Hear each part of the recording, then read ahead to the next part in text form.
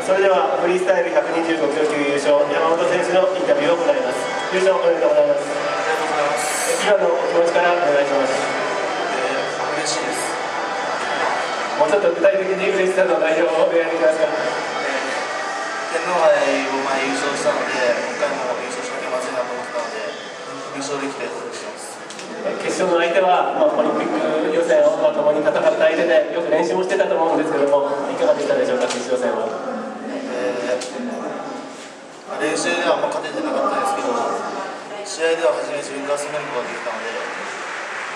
それが勝てそれで勝てたので嬉しいです。3試合とも10対0の圧勝でしたけどももうこの階級の第一人者になったという感じじゃないでしょうか。でもまだ自分が強いのでもっともっと練習していきたいです。今回のオリンピック予選を通じて、えー自分がどのぐらいえー成長したかなという実感ありますかえータックルを最初自分でゼロポイント結構攻めれるようになってきたのでそれちょっと前より良くなったかなと思いますまあ、残念ながらリオは出られませんでしたけれども東京オリンピックへの戦いはもうスタートしてますでしょうか？